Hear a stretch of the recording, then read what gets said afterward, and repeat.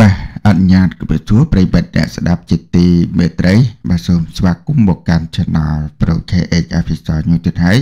បាទសូមលើកនៅអត្ថបទដ៏ស្រង់ខ្លីៗចំនួន2មកជម្រាបជូនដល់ប្រិបត្តិអ្នកស្ដាប់ហើយអត្ថបទទី1ចោះចាប់ត្រីក្នុងអាងមិនប្រយ័ត្នជាអកុសលចាប់ប៉ះចំខ្សែភ្លើងបណ្ដាលឲ្យឆក់ស្លាប់ភ្លាមភ្លាមបាទប្រិមិត្តនេះគេតកតើងនឹងករណីឆក់ខ្សែភ្លើងទៅហើយ ដែលធ្វើឲ្យបរិសម្នាក់បាទស្លាប់យ៉ាងអាសូរដោយសារតែចោះចាប់បាទត្រីឆក់ណាហើយខ្សែភ្លើងនោះបាទដាច់រលាត់បាទធ្វើឲ្យឆក់តែម្ដងបាទទៅទៀតយើងមកតាមដានលំអិតបន្ថែមអត្ថបទទី2គួរតែពិចារណាតើរថយន្ត BMW អាចរួចផុតពីសំណាញ់ច្បាប់ដែរឬទេ បន្ទាប់ពីបើកិនក្មេងស្ទាវជិះម៉ូតូលឿនដូចហោះបុកគ្នាធ្លាក់ខ្ទាតលើថ្នល់ បាទប្រិមិត្តប្រហែលជាបានទស្សនានៅក្នុងវីដេអូកាមេរ៉ាហើយបាទករណីគ្រោះថ្នាក់ចរាចរណ៍ដ៏រន្ធត់មួយ ដោយយុវជនបាទស្ទាវស្ទាវពីម៉ូតូបាទបើកបុកគ្នាហើយស្រាប់តែខ្ទាតមកកណ្ដាលខ្នល់បាទត្រូវបានរថយន្តទៅពីក្រោយ បើកកិនស្លាប់គួរឲ្យអាសូរតែមហាជននៅលើបណ្ដាញសង្គមសម្ដែងការហួសចិត្តបាទទៅលើម្ចាស់រថយន្តណា ដែលឃើញគ្រោះថ្នាក់ទៅហើយអត់ព្រមឈប់ឡានចិន បាទមិនបានទៅជួយមើលផងបែរជាបើកឡានកិនបន្ថែម បាទធ្វើឲ្យគេស្លាប់យ៉ាងអាសូរបាទបើអត់បើកកិនទេប្រហែលជាអាចរស់រានមានជីវិតណាបាទឡាននៅឯខាងនេះទេបែរជាអត់ឈប់បាទបើគាត់ឈប់ប្រហែលជាមិនអីហើយបើកបរដោយស្រីស្អាតទៅទៀតបាទដោយសារតែគាត់ស្លន់ឬក៏ភ័យក៏បាទបើករត់កិច្ចបាទឥឡូវនេះឃើញថា សមត្ថកិច្ចបាទស្រាវជ្រាវរកឃើញហើយបាទចឹងប្រិមិត្តយើងមកតាមដានលំអិតនៅអត្ថបទបាទទាំងពីរនេះដូចតទៅចោះចាប់ត្រីក្នុងអាងមិនប្រយ័ត្នជាអកុសលចាប់ប៉ះចំខ្សែភ្លើងដាច់បណ្ដាលឲ្យឆក់ស្លាប់ភ្លាមភ្លាមខេត្តបាត់ដំបងបរិសម្នាក់ត្រូវបានចរន្តអគិសនីឆក់បណ្ដាលឲ្យស្លាប់ភ្លាមភ្លាមបន្ទាប់ពីចោះចាប់ត្រីក្នុងអាង តែប៉ះចំខ្សែភ្លើងដាច់ដែលហេតុការណ៍ដ៏គួរឲ្យរន្ធត់ខាងលើនេះបាន បានកើតឡើងកាលពីរសៀលម៉ោង1:30នាទីថ្ងៃទី10ខែមករាឆ្នាំ2023នៅចំណុចក្រមទី10ភូមិតាហ៊ីឃុំព្រៃខ្ពស់ស្រុកបវលខេត្តបាត់ដំបងបើយោងតាមការបំភ្លឺឈ្មោះថាសានជូភេប្រុសអាយុ18ឆ្នាំត្រូវជាមិត្តភ័ក្តិរបស់ជនរងគ្រោះបានឲ្យដឹងថា នៅថ្ងៃកើតហេតុលោកនឹងបាក់ពួកឈ្មោះថាតាសំភេប្រុស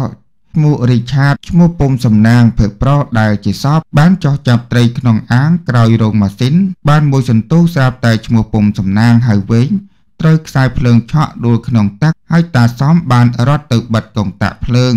ភ្លាមនោះលោកក៏បានស្ទុះទៅចាប់ទាញតែទាញមិនរួចបន្ទាប់មកពួកគាត់បាននាំគ្នាចុះទៅលើកជនរងគ្រោះយកទៅមណ្ឌលសុខភាពព្រៃខ្ពស់ប៉ុន្តែត្រូវបានពេទ្យប្រាប់ថាដាច់ចោស្លាប់បាត់ទៅហើយ ឆ្លងតាមការត្រួតពិនិត្យរបស់ផ្នែកជំនាញគ្រូពេទ្យបានធ្វើការសន្និដ្ឋានថាសពជនរងគ្រោះខាងលើ គឺស្លាប់ដោយសារឆក់ខ្សែភ្លើងពិតប្រាកដមែនមូលហេតុចោះចាប់ត្រីក្នុងអាងចាប់ប៉ះចំខ្សែភ្លើងដាច់បណ្ដាលឲ្យឆក់ស្លាប់ភ្លាមភ្លាមក្រោយពីគ្រូពេទ្យនិងផ្នែកជំនាញបានធ្វើការពិនិត្យចប់សពគ្រប់ហើយនោះ សពត្រូវបានប្រគល់ឲ្យក្រុមគ្រួសារយកទៅធ្វើបន់តាមប្រពៃណីប្រិមិត្តនេះគឺតកតងនឹងករណីឆក់ខ្សែភ្លើងបណ្ដាលឲ្យបរិសម្នាក់បាទស្លាប់យ៉ាងអាសូរបាទចឹងបានថាបងទឹកអាងបងអី5ម៉ូទ័រនេះបាទត្រួតពិនិត្យឲ្យបានខ្ពស់បាទខ្សែភ្លើងបាទតើវាមានដាច់រលាត់បាទកណ្ដោខំឬក៏អី បាទប្រយ័ត្នប្រយែងបាទដោយករណីបាទធ្វើប្រហែសណាស់បាទចាប់បណ្ណាមិនចំបាទចាប់ប៉ះចំមកកន្លែងវាដាច់រលាត់បាទមានអីឆក់ស្លាប់អរគុណប្រិមត្តសូមបញ្ចប់នៅអត្ថបទនេះហើយយើងមកតាមដាននៅអត្ថបទមួយទៀតគួរពិចារណាតើរថយន្ត BMW អាចរួចផុតពីសំណាញ់ច្បាប់បន្ទាប់ពីបើកកិនក្មេងស្ទាវ ជិះម៉ូតូលឿនដូចហោះបុកគ្នាហើយខ្ទាតទៅលើខ្នល់គូបញ្ជាក់ថាក្មេងប្រុសជំទង់ម្នាក់បានស្លាប់បាត់បង់ជីវិតភ្លាមៗបន្ទាប់ពីម៉ូតូស្គបពីដប់គ្នាបើកបរយ៉ាងលឿនហើយទៅបុកម៉ូតូមួយគ្រឿងទៀតបណ្ដាលឲ្យខ្ទាតចេញពីម៉ូតូធ្លាក់មកលើខ្នល់ត្រូវបានរថយន្តម៉ាក BMW បើកកិនពីលើទាំងកំរោលដ៏រន្ធត់ដែលហេតុការណ៍គ្រោះថ្នាក់ចរាចរណ៍រន្ធត់មួយនេះ បានកើតឡើងកាលពីថ្ងៃទី8ខែមករា ឆ្នាំ2022វេលាម៉ោង10:03នាទីលើផ្លូវជាតិលេខ2ត្រង់ចំណុចខាងការ៉ាសលៀងឡាន VS ស្ថិតនៅភូមិដើមគោសង្កាត់ដើមមានក្រុងតាខ្មៅខេត្តកណ្ដាលតាមរយៈវីដេអូកាមេរ៉ាសវត្ថិភាពបានបង្ហាញឲ្យឃើញថាមុនពេលកើតហេតុមានម៉ូតូមួយគ្រឿងម៉ាកស្កូពីពណ៌ខ្មៅជិះដប់គ្នាពីរនាក់បើកលឿនបំផុត ហើយកិច្ចពីរថយន្តមួយគ្រឿងក៏ជ្រុលទៅបុកម៉ូតូមួយគ្រឿងទៀតជិះម្នាក់ឯងបណ្ដាលឲ្យក្មេងប្រុសជំទង់ជិះស្កូពីអង្គុយខាងក្រោយខ្ទាតទៅលើខ្នល់ចម្ងាយប្រហែលជាង2ម៉ែត្រហើយរថយន្តម៉ាក BMW ពណ៌ក្រហម ដែលបានចាប់ប្រាំងជុភ្លាមភ្លាមប៉ុន្តែអ្វីដែលនឹកស្មានម្ដងនោះគឺបន្ទាប់មកស្រាប់តែរថយន្ត BMW ក៏បានបើកបន្តដំណើរហើយមិនដឹងថាមានចេតនា ឬក៏បើកជៀសមិនផុតយ៉ាងណាទេស្រាប់តែកិនពីលើក្មេងប្រុសជំទង់នោះស្ដាយស្ដាយតែម្ដងបើតាមប្រភពព័ត៌មានឲ្យដឹងថាយុវជន2នាក់ដែលជិះម៉ូតូលឿនដូចហោះបង្កហេតុអ្នកបើកបរឈ្មោះថាម៉ាត់សូភេទប្រុសអាយុ18ឆ្នាំមានទីលំនៅនៅភូមិព្រែកតាពៅសង្កាត់ដើមមានរោងរបួសស្រាលត្រូវបានសាច់ញាតិដឹកតាមម៉ូតូយកទៅព្យាបាលនៅមន្ទីរពេទ្យជ័យជំនះនិងអ្នករួមដំណើរពីក្រោយឈ្មោះថាអានរ៉ាហ្វីន ភេទប្រុសអាយុ12ឆ្នាំបានស្លាប់ ចំណែកឯអ្នកបើកម៉ូតូមួយគ្រឿងទៀតម៉ា MSX ដែលរងការបុកឈ្មោះថារស់តុងអាយុ21ឆ្នាំមានទីលំនៅនៅភូមិព្រែកសំរោង2សង្កាត់តាខ្មៅក្រុងតាខ្មៅខេត្តកណ្ដាលរងរបួសស្រាលដោយឡែកចំពោះករណីរថយន្តម៉ាក BMW ពាក់ស្លាកលេខ 2AX 8987ពណ៌ក្រហមដែលបានចន់ហ្វ្រាំងឈប់ ប៉ុន្តែស្រាប់តែបើកិនលើក្មេងប្រុសជំទង់អាយុ12ឆ្នាំជាភេកីម៉ូតូស្កូពីជិះម៉ូតូបញ្ច្រាស់ទិសមិនគោរពសិទ្ធិអតិភិបផ្លូវហើយបើកលឿនដូចហោះទៀតដោយមិនដឹងថាចេតនាកិនឬក៏ជិះមិនផុតយ៉ាងណាទេត្រូវបានមហាជនចោទសួរថាតើអាចរួចផុតពីចំណាច់ច្បាប់ដែរឬទេតែបើតាមការអង្កេតគឺរថយន្ត BMW បានបើកកិច្ចផុតកង់មុខទៅហើយប៉ុន្តែ ប្រហែលដោយសារតែម្ចាស់រថយន្តអាចជាមនុស្សស្រីបើក មិនមានការប្រុងប្រយ័ត្នក៏កិនពីលើមនុស្សកង់ខាងក្រោយទាំងកំរៅតែម្ដង បាទប្រិមិត្តនេះគេតើតើនឹងករណីហេតុការណ៍គ្រោះថ្នាក់ចរាចរណ៍ដ៏រន្ធត់បាទក្មេងៗស្ទៀវបាទចឹងបានថាស្ទៀវអត់ចេះអត់ដឹងអីតែម្ដងចេះប្រយ័ត្នគេហើយបាទលឿនទៀតបាទមានអីបុកម៉ូតូមួយនោះមកពីទិសដៅស្របបាទ ប៉ាំងបាទខ្ទៀតអ្នកក្រោយហើយចូលទៅខាងផ្លូវឡានណោះបាទហើយម្ចាស់ឡានណោះបាទតំណងគេថាកិច្ចផុតហើយ បាទចាប់ប្រាំងឈប់បាទជៀសផុតកង់មុខបាទនៅសល់កង់ក្រោយ បាទបាទកិនគ្នាស្លាប់បាទយ៉ាងអាណិតអាសូរប៉ុន្តែបើពេលនោះបើសិនជាគាត់បាទឈប់មើលឬក៏ជួយសង្គ្រោះអីទៅអត់ជាបញ្ហាអីទេ បាទអានេះប្រហែលជាអញ្ចឹងហើយបាទហើយជាមនុស្សស្រីជាអ្នកបើកបរទៅទៀតអរគុណប្រិមិត្តសូមបញ្ចប់នៅអត្ថបទខ្លីទឹកពីនេះបាទសូមស្វាគមន៍មកកាន់ Channel Pro KX អភិសរយុទ្ធហើយបាទសូមលើកនៅអត្ថបទដកស្រង់បាទខ្លីៗចំនួន2មកជម្រាបជូនដល់ប្រិមិត្តអ្នកស្ដាប់ដែលអត្ថបទទី1បាទតកតងនឹងករណីគ្រោះថ្នាក់ចរាចរណ៍ទៀតហើយដែលមានចម្លងជើងថា ចៅប្រុសជិះម៉ូតូទៅធ្វើបុណ្យសពឲ្យជីដូន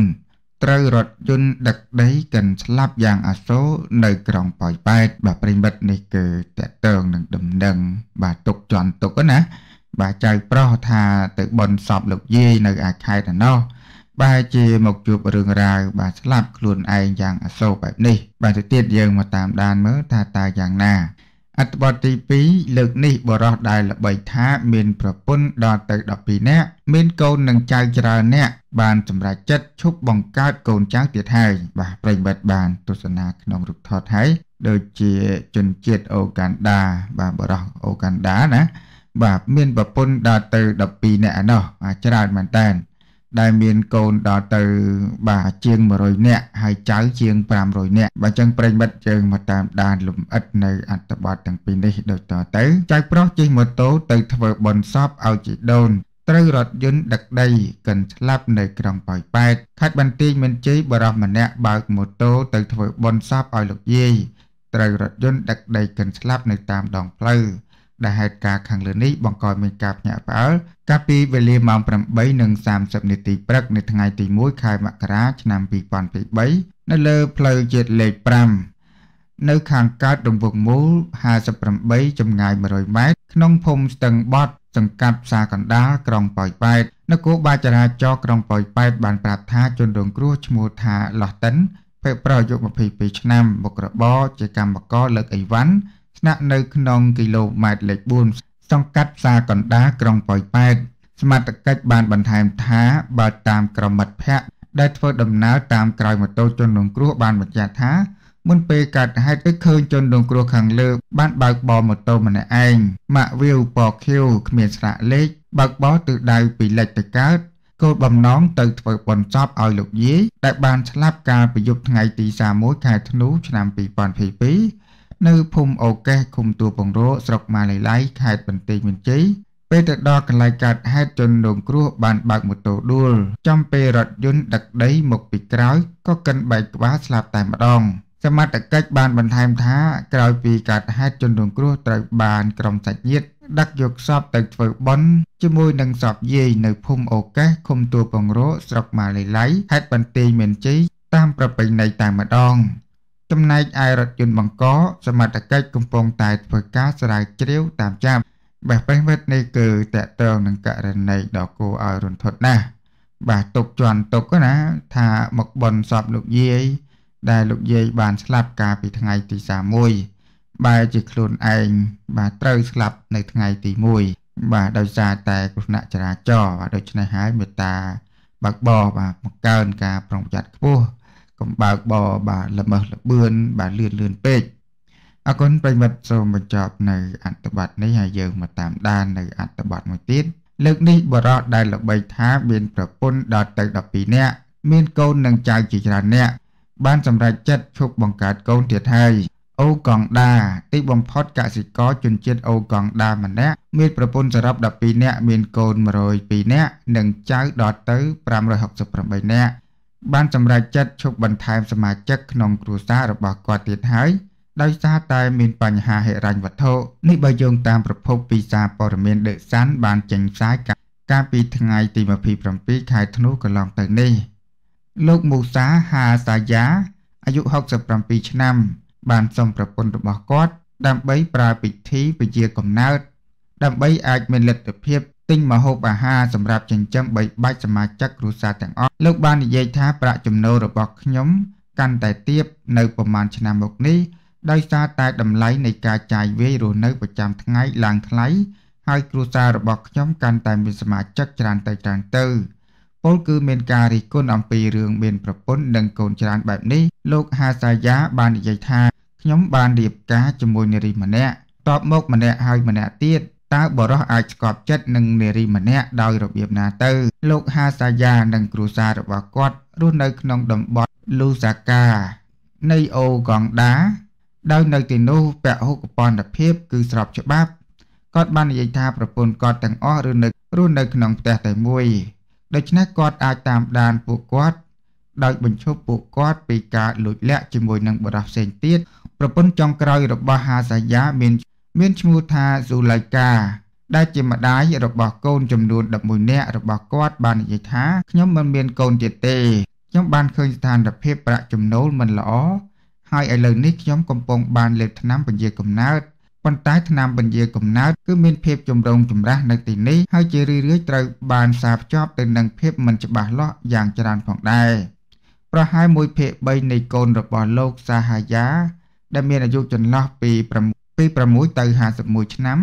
រស់នៅជាមួយគាត់ក្នុងកសិដ្ឋានលក្ខណៈគ្រួសារកូនពៅរបស់គាត់មានអាយុ6ឆ្នាំគណៈកូនចាស់ជាងគេរបស់គាត់មានអាយុ51ឆ្នាំដែលចាស់ជាងប្រពន្ធចុងរបស់គាត់ប្រហែល20ឆ្នាំ បច្ចុប្បន្នលោកហាសាយ៉ាមិនអាចបន្តធ្វើភារកិច្ចបានទៀតនោះទេ ដោយសារតែមានវ័យកាន់តែចាស់ហើយសុខភាពក៏មិនល្អផងដែរ ដែលបញ្ហានេះបានធ្វើឲ្យប្រពន្ធពីរនាក់របស់គាត់សម្រេចចិត្តចាកចេញពីគ្រួសារដោយសារតែសម្ពាធនៃនៃបញ្ហាហិរញ្ញវត្ថុក្នុងគ្រួសារបេះប្រិមិត្តនេះគឺតកតងនឹងបរិះជនជាតិហង្កាដាម្នាក់មានកូនបាទដល់ទៅ100នាក់ជាង ហើយចៅដល់ទៅ500នាក់ជាង បាទច្រើនមែនតែនអេចេះតែមានតែម្ដងណាមានរឿងប្លែកប្លែកយ៉ាងដែរអរគុណប្រិមិត្តសម្រាប់ការតាមដាននៅអត្ថបទបាទខ្លីទាំងពីរនេះ